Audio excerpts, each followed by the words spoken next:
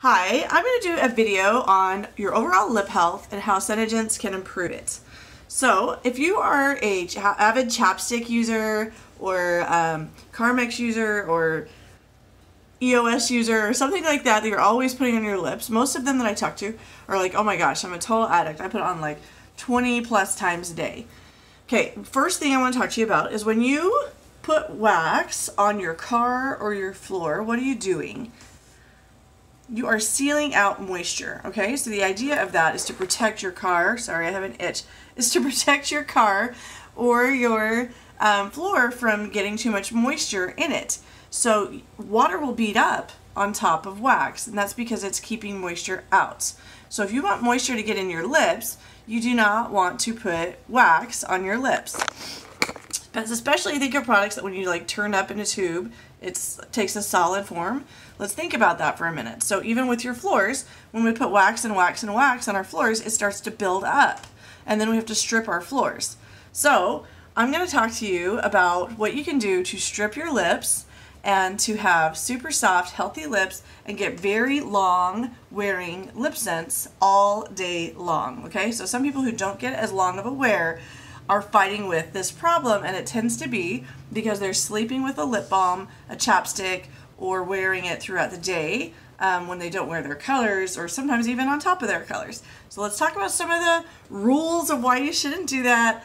Number one with wearing lip sense and number two just for your overall health. So lip sense products and Senegence products are meant to do two things. They're meant to stay on until you take them off, number one, and they are meant to improve the quality and overall health of your skin or lips, okay?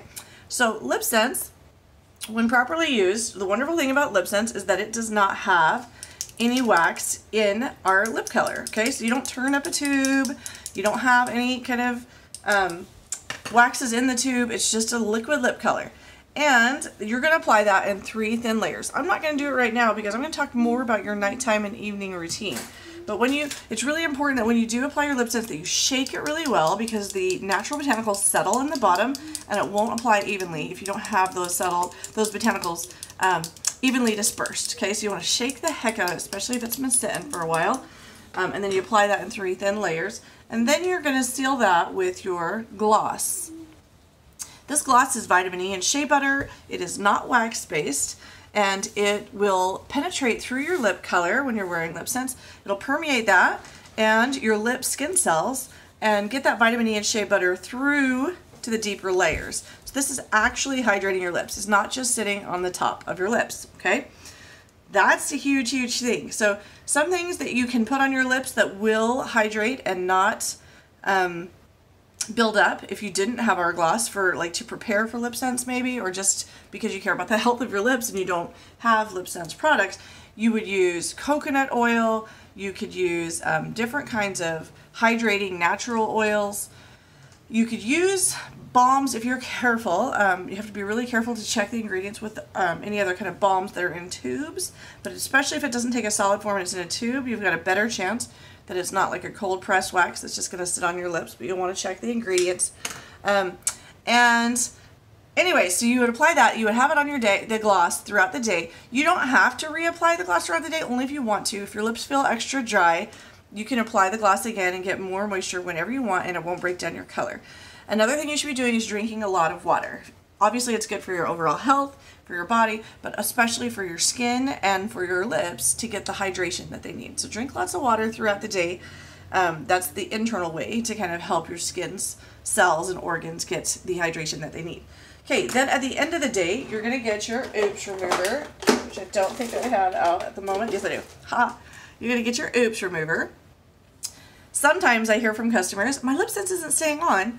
And then I find out that they're using their oops remover for their gloss. So make sure this is not a mistake you're using, uh, you're making. But this white and gold tube right here is the remover. So make sure what I do is I just keep that in a drawer next to my sink. I don't keep that in my purse. So someone, when they first get their starter kit, keep all three pieces in their purse. Don't do that. It just can lead to that error. So keep this by your sink and then you'll always remember. So then at the end of the day, after wearing your lip color, you're going to go ahead and apply this liberally all over your lips. And I let that sit for about two minutes. And um, once it's been sitting, sorry, I dropped what I wanted to show you. Once it's been sitting for about two minutes, it's really important that you get, instead of just removing it like with a makeup remover wipe, I feel like this is the key. So you want to get like a scratchy washcloth. I have a cabinet full of them. I don't know if these are meant to be like dishcloths or washcloths, but they're scratchier, so they don't feel just like a soft um, towel. These are these are scratchier. So uh, probably because they're cheap. I buy them at Walmart. Okay. Then once once it's been sitting for like two minutes, I just kind of take my finger inside this cloth, and then I remove, like going like that. Okay. And if all the color doesn't come off, you would apply it again and remove one more time.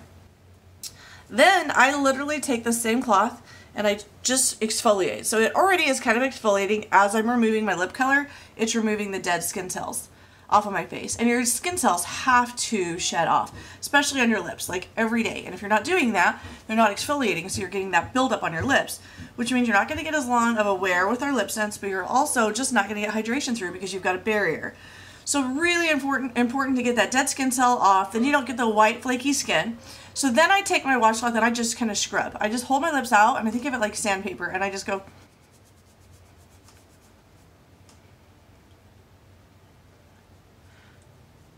and I just want to rub off anything that feels like dry dead skin cells. You can exfoliate a number of different ways. This is my favorite way. I feel like it gets everything nice and smooth. It gets any of those white pieces of skin that need to come off off. Other options are using your toothbrush. I know a lot of people exfoliate using their toothbrush, so just brushing your lips like this. Okay? Or a sugar lip scrub. If you don't have one, you can make one. It's just equal parts of coconut oil and organic raw sugar, okay? Or brown sugar will work. Then, when you go to sleep at night, you should be sleeping in one of three things. Actually, I'm to give you four options, I think. Yeah. I'll give you four options. Um, if you just are new to lip sense, I always tell people just sleep in your gloss. So I would literally just apply after I exfoliate because it's so hydrating. This vitamin E and shea butter, I would just take this gloss and apply it liberally all over my lips. Rub it in. It tastes and feels so good. I don't mean taste like I eat it, but I mean like, I guess it really should just say it feels so good because I can feel it like drinking into my lips after I just took off all that dead skin cell and it just feels amazing. Like it's hydrating my lips, okay? So if that's all you have, sleep in that. And then when you wake up in the morning, you're gonna get that same washcloth and you're gonna scrub off any of the leftover gloss and any more dead skin cells. So you're exfoliating in the morning and you're exfoliating at night. Super important. Okay, another thing you could be sleeping in is if you're really like addicted to like the balmy kind of feel, you can buy a Senegence lip balm. And this is, um, it has a synthetic vegan beeswax, so it isn't like the cold press wax that you would get in a chapstick. I'm to squeeze that out. So it has like a squeeze out ointment type of balm that's also vitamin E based and shea butter based and then you're going to just rub that in. So you could sleep in that, you could sleep in the gloss. Either one of those are fine and super hydrating for your lips and are not going to build up on your lips, and that's the most important part. So those are two options. Another option, but then the same thing, when you wake up in the morning, you're just going to want to, it will probably all be drunk in, but I still do this in the morning just in case I have any extra or I have any like dry stuff or saliva, anything like that around my mouth. It happens. You want to just wipe that clean and you wipe, off, wipe off any dead skin cells. The other option you can sleep with is our lip volumizer. So this is an amazing product, especially if you're trying to keep your lips plump and healthy. So you would just do the same thing. You would just apply that at nighttime. Feels like a silky butter. Feels really good. Okay, you can apply that and sleep with that on. Some people I know feel like they need like to lock that in a little bit so they'll lock it in with the lip balm on top. Or we have an amazing product called a collagen night pack. This like seals in moisture and um, prevents moisture loss and enhances your collagen uh, producing in your skin cells. So if you can if you want to seal your lip volumizer with that you can you don't have to. It's not a it's not a requirement, but I know people who say they get much further results with fuller lips by doing so. Okay, another product is called Nangai oil that we have. So, like I said, you can you can put coconut oil on your lips for moisture. The only problem with just putting coconut oil on your lips, or even really just putting Nangai oil on your lips, is that the viscosity of it is not um, thick enough to really stay very long. So it is going to drink right in, and it's probably not going to sit on your lip long enough to give it like as much as you would like. Um, like to get the full benefit of it. So with Nangai oil though, Nangai oil is like coconut oil on steroids. That's what I always tell people because it is super concentrated. It's way more powerful than coconut oil. So if you have like any kind of scars or um, dry, super dry eczema patches, I have a stepdaughter that has some under her eyes. We put this on there and it's like gone. So, but another thing for like just super dry skin, I sometimes I get super dry around my eyebrows. I'll put some there or under my eyes. I'll put some there. But at nighttime, you can put a drop of Nangai oil, or you can combine this with your lip volumizer and then seal it with your collagen night pack. But a drop of Nangai oil is so, so, so good for your lips. And then you can also seal that with a collagen night pack, but you don't have to. But that's just one more added like insurance benefit of really keeping that moisture in. Those are the products that I want you guys sleeping with or wearing when you're not wearing your lip sense. So what are your options? Nangai oil, lip volumizer, synthetic beeswax vegan um, lip balm by Senegence, or just our glossy. If you just have the starter kit, start with this and just sleep with this. What I need you to promise me is that you will not put chapstick, EOS, Carmex, or anything like that else on your lips. If you stick to this regimen and do this every day for a week or two weeks, your lips are going to be healthier than they have ever been, you guys. So please trust me on this routine. Try it out, commit to it, and you're going to see your lips are healthier than they've ever been.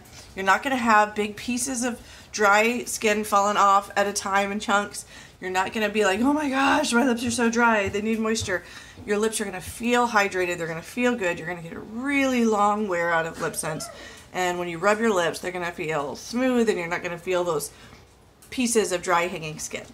So I appreciate you guys for watching me and for learning with me. I learned this routine and once I learned this routine I've been so happy because I can't even begin to tell you how dry my lips used to be and how much dead skin I used to have to the point that they would bleed. So lip health is important, skincare is important, putting good ingredients on your skin and knowing how to take care of your skin is important. So thank you for taking the time to watch and please accept my challenge to remove any chapsticks or wax-based products from your regimen and start using good products today. Thanks guys!